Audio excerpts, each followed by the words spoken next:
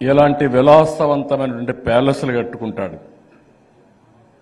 ఏ మాత్రం ఒక ప్రతి ఒక్కరికి ఒక మనసు అనేది ఉంటుంది. మన మనసు చెప్తా ఉంటుంది మనం తప్పు చేస్తున్నాం తప్పు చేస్తున్నామని. అయినా కూడా లెక్క లేకుండా చేసే పరిస్థితికి వచ్చాడంటే ఇది ఏ విధంగా అర్థం చేసుకోవాలో అర్థం కాని పరిస్థితి. దీంట్లో కూడా నేను చూశాను మొత్తం డబ్బులు ఇచ్చిన విధానం అవన్నీ కూడా చూస్తే అవన్నీ మీకు ఎప్పటికప్పుడు ఇస్తాం.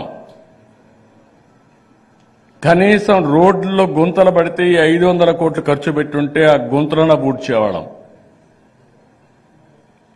ఒకటి రెండు ఇష్యూస్ కాదు.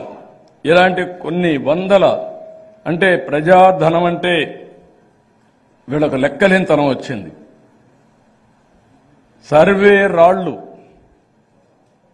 పొలాలు చుట్టూరు నాటించడానికి ఏడు వందల కోట్ల రూపాయలు ఖర్చు పెట్టారు బొమ్మేసుకోవడానికి. కెన్ ఇమాజిన్ దిస్ ఇలాంటి కోకొల్లలు చేశారు ఇష్టానుసారంగా చేశారు. చాలా దుర్మార్గంగా ప్రవర్తించారు. మనం పురాణాల్లో రాజులను చూశాం. సత్యహరిచంద్ర చూశాం.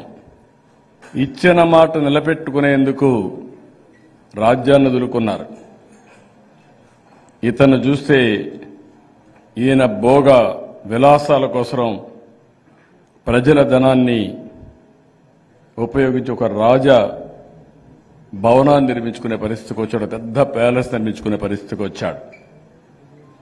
ఇవన్నీ ఒక వీడియో తీస్తాం. మొత్తం డీటెయిల్స్ అని ఇస్తాం. ప్రజా క్షేత్రంలో ప్రజలకు పెడతాం. దీని మీద చర్చ జరగాల్సిన అవసరం ఉంది. ఆ తర్వాత ఇక్కడికి అలో కూడా చేస్తాం. రెగ్యులేట్ చేస్తాం అలో చేస్తాం. అందరి అభిప్రాయాలు తీసుకున్న తర్వాత ఎలాంటి ఉల్లంఘనలు చేశారు అవి కూడా పెడతాం. అదే సమయంలో దేని దేనికి ఎంత డబ్బులు ఖర్చు పెట్టారు అవి కూడా పెడతాం. ఇవన్నీ చేసిన తర్వాత దీన్ని ఏం చేయాలి ఇప్పుడు? మొత్తం ఈ ప్యాలెస్ మొత్తం సమూహం మనం చూస్తే దేనికి ఉపయోగపడుతుందో నాకైతే అర్థం కావడం లేదు. ఇది వైబల్ కాదు ఏదైనా. కానీ ప్లేస్ని చూస్తే ఒక అరుదైన ప్లేస్ ఇది. దేశంలో ఎక్కడా లేనటువంటి అరుదైన ప్లేస్ పైన ఈయనకి కనబడింది. అందుకే మనం చూసి ఇక్కడ క్యాంప్ ఆఫీస్ ఏంటో నాకు అర్థం కాల. ఆయనకే కాదు ఇంకొక ఆఫీసు కట్టారు. నేను పేరు చెప్పను. గజపతి బ్లాక్. ఏదైనా ఒక ప్లానింగ్ ఉండాలి కదా? ఒక పర్పస్ ఉండాలి కదా. ఎక్కడికి పోతున్నారు మీరు? నేను అడుగుతున్నా ఇక్కడ చెత్త చెత్త మాట్లాడుతూ ఉంటారు వాళ్ళందరినీ. సమాధానం చెప్పమని.